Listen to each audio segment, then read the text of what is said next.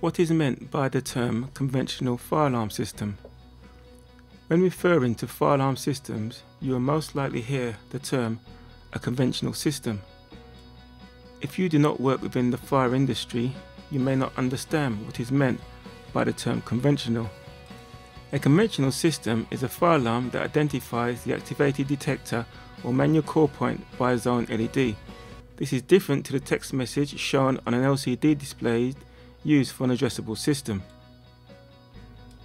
In the example shown on the video, a smoke detector is activated on the ground floor. You will observe that the red LED indicating a fire activation is now illuminated, along with another red LED in Zone 1. If you look at the zone listing below, you will see that Zone 1 is the ground floor.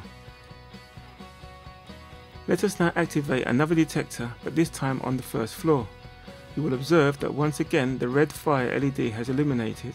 However, this time it is the red zone LED but for zone 2. Zone 2 on the zone listing is the first floor.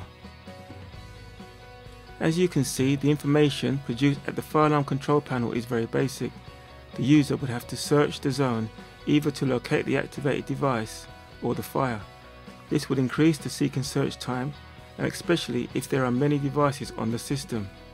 This is the reason why we would recommend not to use conventional systems on large buildings or systems with lots of devices or devices that may be inaccessible.